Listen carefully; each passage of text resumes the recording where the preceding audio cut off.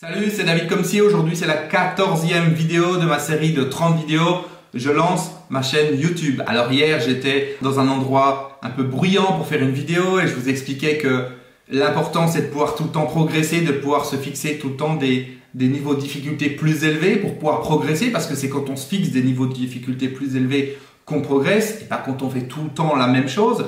Et la question que j'ai envie de vous poser aujourd'hui, c'est c'est quand la dernière fois que vous avez fait quelque chose de nouveau C'est quand la dernière fois que vous êtes sorti de vos habitudes? Alors attention, faire quelque chose de nouveau, on est bien d'accord. Si vous vous lavez les mains à l'eau tiède et que la dernière fois il n'y avait pas d'eau chaude et vous êtes lavé les mains à l'eau froide, non, non, c'est pas quelque chose de nouveau, ça compte pas.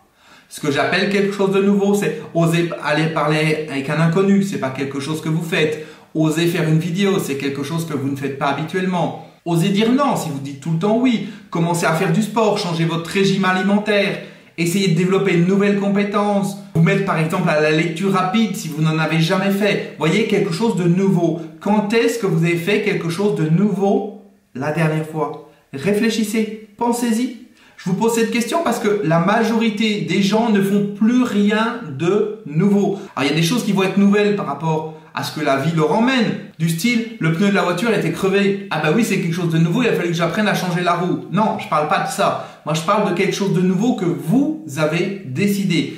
C'est-à-dire, vous vous êtes dit un matin, ok, aujourd'hui, je vais faire ça. C'est quelque chose que je ne sais pas faire, que j'ai pas l'habitude de faire, mais je vais le faire. Je vais me challenger par rapport à ça et je vais avancer par rapport à ça. Dans un but d'amélioration, dans un but de vous grandir, dans un but d'apprendre quelque chose et de développer des compétences. Donc je vous repose à nouveau la question, quand est-ce que vous avez fait quelque chose de nouveau? C'était quand la dernière fois? Il y a un jour? Il y a une semaine? Il y a un mois? Il y a un an? Ou peut-être même que vous ne vous rappelez pas?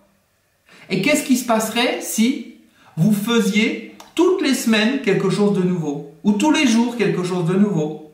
Comment est-ce que votre vie, elle serait dans un mois, dans un an? Si vous cherchiez tout le temps à grandir, à vous améliorer.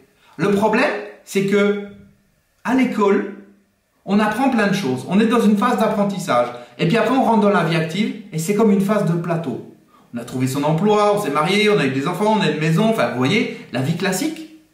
Et puis après, les gens ne cherchent plus à développer de nouvelles compétences. Ils cherchent plus à apprendre de nouvelles choses. Il y a la vie qui les force, apprendre des nouvelles choses. Mais ça vient pas d'eux. C'est pas un comportement proactif. J'ai décidé que j'allais faire ça. J'ai décidé que j'allais me mettre à l'anglais. J'ai décidé que j'allais me mettre à l'espagnol. J'ai décidé que j'allais me mettre au sport, etc.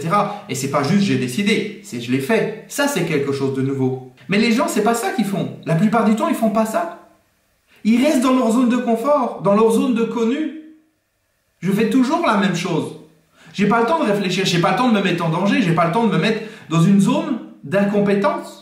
Je préfère rester dans la zone connue, comme ça je crois que je suis bon. Ah, je suis bon parce que je fais que des choses que je sais faire. Mais non, en fait, t'es nul, tu fais tout le temps la même chose.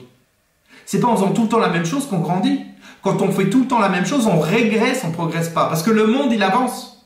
Le monde avance. Vos collègues de travail, ils avancent, ils se forment, ils grandissent, ils deviennent meilleurs. Et un jour, votre boss, il vous dira au revoir, la porte, c'est par là.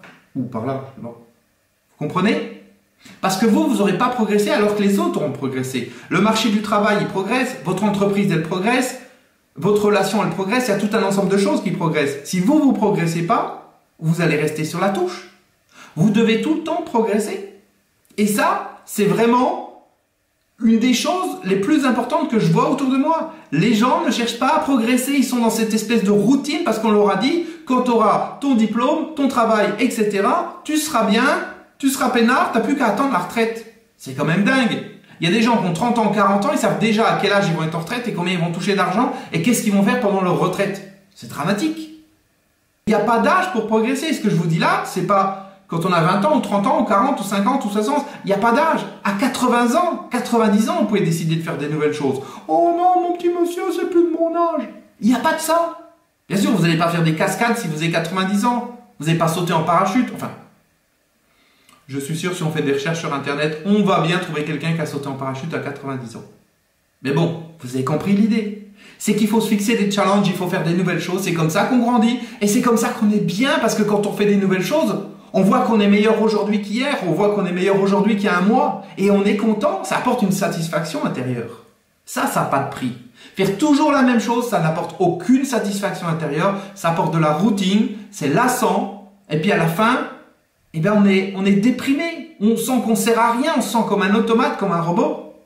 Donc marquez-moi dans les commentaires qu'est-ce que vous avez fait de nouveau récemment, et quelque chose que vous avez décidé par vous-même. Et si c'est pas le cas, ben marquez qu'est-ce que vous allez faire. Ok, eh bien demain je vais faire ceci, demain je vais faire cela. Et puis vous pouvez même me dire après dans la prochaine vidéo, ok, hier j'ai dit que j'allais faire ça et je l'ai fait. Et je suis content parce que je l'ai fait, c'est quelque chose de nouveau. Et puis faites des choses aussi qui vous semblent difficiles, qui n'y seront peut-être pas à l'usage.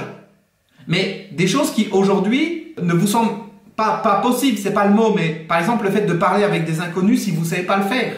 Faites-le. Peut-être des choses dont vous ne vous sentez pas capable. Et là c'est encore meilleur. Parce que plus vous faites des choses dont vous ne vous sentez pas capable et vous arrivez à les faire, plus vous êtes content de vous. Voilà, c'est terminé pour aujourd'hui. J'attends vos commentaires sous la vidéo comme d'habitude. Racontez-moi ce que cette vidéo vous a amené comme inspiration, qu'est-ce que ça vous a apporté comme idée, peut-être une prise de conscience, et surtout qu'est-ce que vous allez faire de ça aujourd'hui, demain et dans les jours à venir, parce que c'est pas le tout de comprendre quelque chose. Ensuite, il faut le mettre en pratique. Allez, à demain, ciao